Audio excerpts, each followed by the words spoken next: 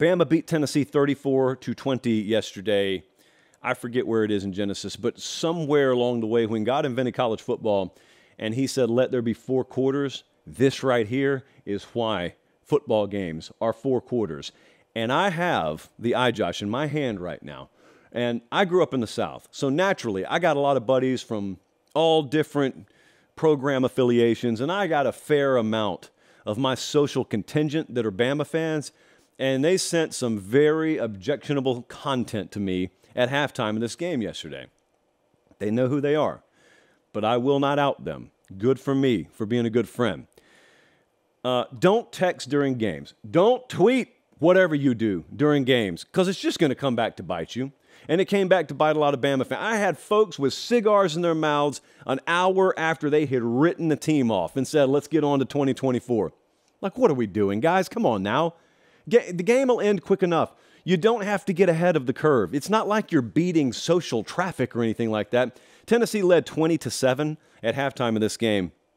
I was on a plane watching the second half unfold somewhere over Kentucky, I guess, and all of a sudden, Bama scores, and then they score again, and then again, and all of a sudden they've, they've gone 27 0 in the second half. Three explosive passes. We talked about that stat the other day.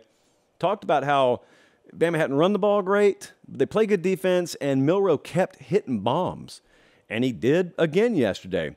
This is the one game I was ready to see, though, because this is the one team in Tennessee that just ran the ball all over A&M. And I wondered, will they be the team that kind of runs the ball on Bama more so than Bama thinks anyone's capable of running it on them? And it wasn't really the case. Tennessee had 3.5 yards per carry. Now, look, Bama hadn't been good running the ball all year. So the fact that they ran it for 3.3 yards per carry doesn't surprise me. Tennessee probably needed it to work out a little bit better than that. Alabama outscoring the opposition 79 to 24 in third quarters right now, by the way. When they lost against Texas, and we were there for that game. When they lost against Texas, they looked vulnerable. And then I would argue they looked even worse the next week, albeit in a win against USF. Pause that moment in time. Go back to week three, post week three. Bama just lost to USF. And you look, and they've got Ole Miss coming up. They go back to back road games at Mississippi State, at A&M. They got Arkansas coming in before you know Arkansas is a disaster. And then they've got Tennessee. So Tennessee will be the eighth consecutive game they've played. Then they'll have the bye week. What did you think their record was going to be? Surely most people thought there'd be at least one more loss coming. I may have been among you, by the way. And they haven't lost one. Now, they're still in the thick of everything. All their goals are in front of them. Quarterback is at least figured out. Like, you're not going to have elite quarterback play there, but it's figured out. And you got Tommy Rees probably calling about as good a game plan as he's going to call for Jalen Milroe. Defense is on fire, so they can win games defensively. They've got a wide receiver one in Jermaine Burton. What are they capable of? They got LSU in two weeks. What is Alabama capable of? I feel that way about a few teams right now that, that had kind of been written off because you're judging them against past versions of themselves instead of judging them against this year's field. Like, I had someone tell me uh, Friday Washington would blow out Bama. How, how in the world do you, Washington didn't score an offensive touchdown against Arizona State last night. But you know beyond a shadow of a doubt, they just smoke Alabama. No, you don't. You just hold the teams to different standards because you come to expect excellence from one, and the other one's the hot new product on the block, and you don't process the information you get from them the same. Uh, the fact of the matter is, Bama can still be competitive. Bama can still beat anyone in the country. And there are other teams already with blemishes that can still do the same. Uh, I got news for you. LSU's got two losses.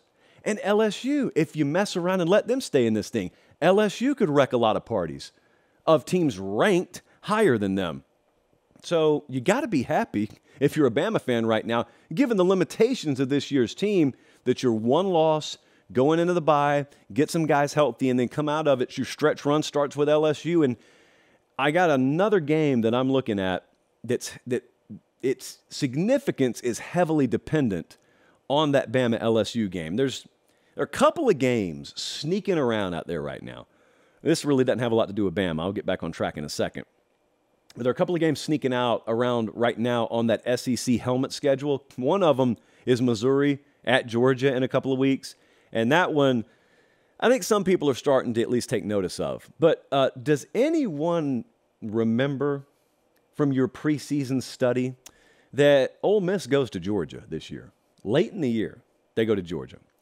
And Ole Miss got, I think, one conference loss right now. Now, they've got to win over LSU. I want you to picture a world where LSU goes to Bama and wins. So Bama's got two conference losses. So even though they've beaten Ole Miss, Ole Miss is ahead of them in the standings. And Ole Miss is going to Georgia possibly with a chance to not clinch the SEC West, but take leaps and bounds towards being favored to clinch the SEC West. Because, I mean, at that point, who would they have? They'd have Mississippi State, I think, left. Yeah, no one's talking about Ole Miss, Georgia. Like, nobody's talking about that game right now. With good reason. It's a couple of weeks away. Don't worry, it'll get here fast enough. Officiating was a very big point of contention in this game. Yes, I will address it. I will not address it to the appeasement of Tennessee fans because I talk about officiating the same way on the show all the time. It's one thing to say, wow, the officiating was bad in this game. Well, of course it was. I saw the same thing you did. And I've had a problem, a long standing problem, with the way college games are officiated, period, because there's no accountability. At least not that you or I are ever privy to. I mean, certainly you can you can get private correspondence from the league office Monday, 48 hours later, they can tell you, we missed this call. We missed that call. Yeah, th- what they don't tell you is here, here's a W instead of the L we gave you. So what does it really matter what you hear? Josh Heupel doesn't care what he hears from the league office Monday. So if you got a problem with the officiating, join the club. Yes, I felt that way for a long time. However, a lot of you want to you want me to traffic in the whole well bama's got the officials in their back pocket sort of thing. No they don't. No they don't. It's a losing proposition for me to make this argument on the show. Like there are hard data and statistics profiles that i could put in front of your face where alabama has actually been victimized disproportionately and for an extended period of time by the very league office that you think they possess in their back pocket. It just fits the narrative you want to believe in. You had 27 unanswered hung on you in the second half. That's why you lost the game. Officiating is officiating. Meemaw used to always tell me put the game out of reach early, don't leave it in the hands of officials, or they will break your heart. And she was right. And a lot of you are heartbroken right now. And in reality, if you build on a 27 lead, you don't have to be heartbroken. Officiating's not going to get any better, is my point. So, um, everybody, the only fan base, famously, that I think has a claim to this is Arkansas. Because I really do believe the officiating world is just tilted towards Arkansas or away from Arkansas. Other than that, uh, you're going to benefit from it. You're going to be victimized by it. Suck it up. I know that's not what you want to hear from me. It was egregious. Okay, I agree with you guys to a point. It was egregious. Some of that stuff was terrible. But um, not nefariously terrible, is all I'm saying.